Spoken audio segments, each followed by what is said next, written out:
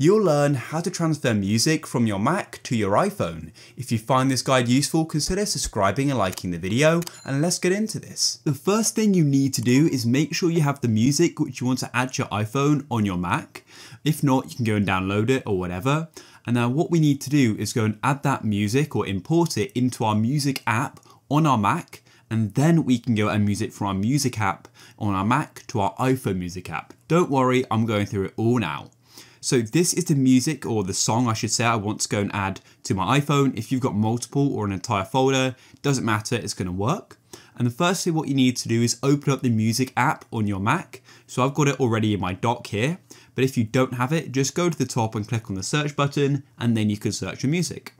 Then just go over to the left into library and click on songs and then go to the top left of your entire Mac, press file and then import. Your Finder will then open and what you can then do is find the music you want to go and add to your music library. So in this case here, I've just got this one song. If you've got multiple, then go and select them all. You can click and drag like this and then press open and there we go. It's now added cartoon on and on.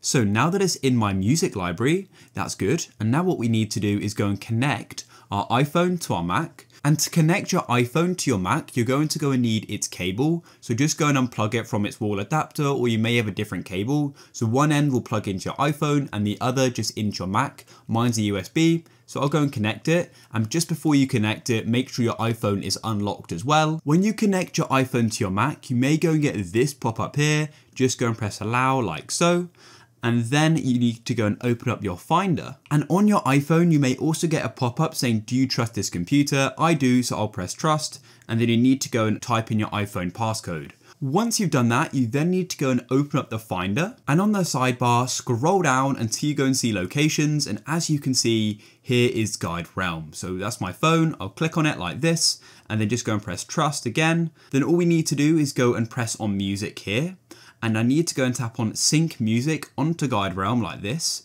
And it then says, uh, are you sure you want to remove existing music? That's fine with me, remove and sync. So I'll then press like that there and make sure you either have entire music library selected or select music. So entire music library is in that music app I just showed you. So click there and then you can go and tap apply and then it says sync and replace, that's fine again, and it's now syncing. So now if we go and open up the music app on our iPhone, I'll do that now, we'll open it up press songs, and there we go, that song I just added is there. It's that easy to go and move music and transfer it from your Mac to your iPhone.